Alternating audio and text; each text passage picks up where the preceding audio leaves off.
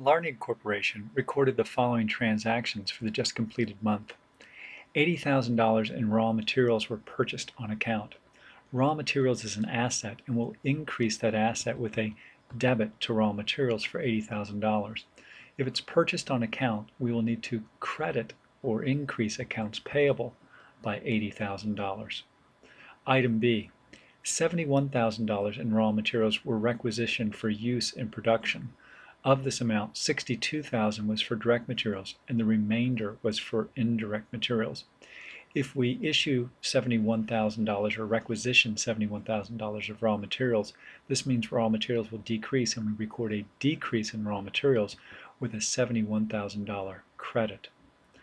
We will have a $9,000 debit to manufacturing overhead and that's for the indirect materials and that's the 71,000 minus 62 and the $62,000 for direct material will be an increase to work in process. Total labor wages of $112,000 were incurred. This will be a credit to wages payable, or we might credit cash if we actually paid the wages.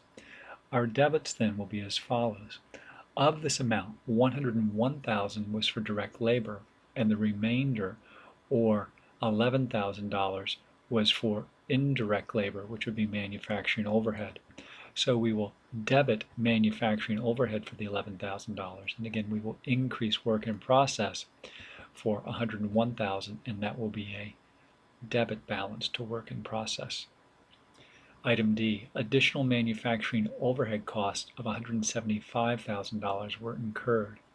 Again, when we incur actual manufacturing overhead, we debit the manufacturing overhead account for the $175,000 and we'll credit uh, various payable accounts or perhaps um, cash, but some sort of credit. We will not credit manufacturing overhead until we actually apply overhead to a job, and that's done, recall, using our predetermined overhead rate and some actual level of activity.